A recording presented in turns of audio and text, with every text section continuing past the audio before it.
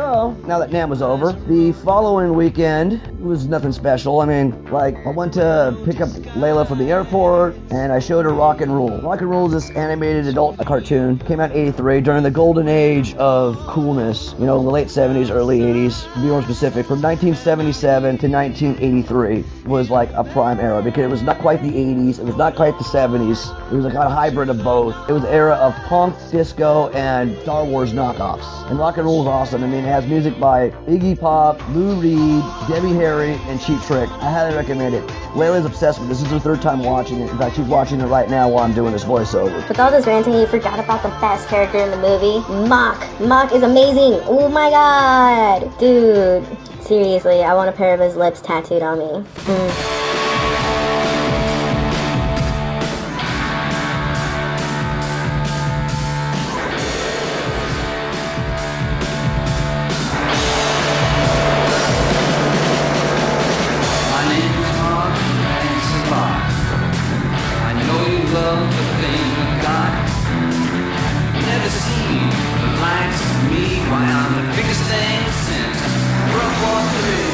So yeah, pick out that movie. It is awesome.